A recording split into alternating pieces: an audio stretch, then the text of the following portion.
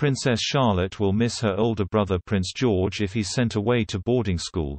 But her outgoing nature will ensure she's fine, royal experts say.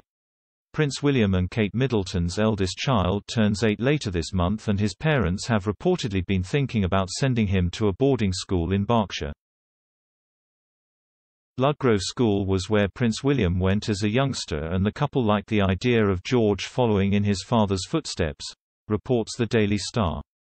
Charlotte and George currently both attend Thomas School in Battersea, which educates 600 boys and girls between the ages of 4 and 13, while youngest brother Louis goes to London's Willcocks Nursery School. Although Charlotte may miss George if he does change schools, a royal expert has said, her outgoing nature will ultimately ensure she handles the change in good spirits. Gertrude Daly, who runs the Gert's Royals blog, said Charlotte seems like a very independent child.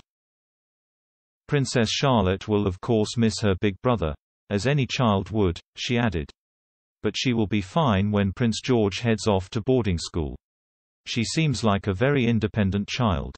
Something she would have been taught at a young age with her Montessori education. She has never seemed to be clinging to her older brother on the rare glimpses we have seen the Cambridge children. In fact, she is often the more outgoing Cambridge kid, leading the way.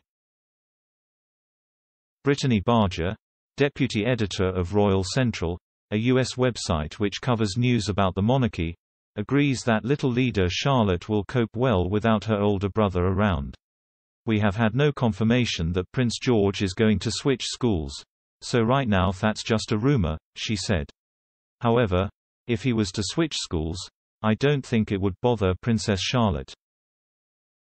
Shusha's very independent and outgoing, so I don't think she needs her brother beside her. She may miss not seeing him at school, but Shusha's not going to be upset that Shusha's alone, I don't think. From what we've seen, Shusha's a little leader so I think she will be fine.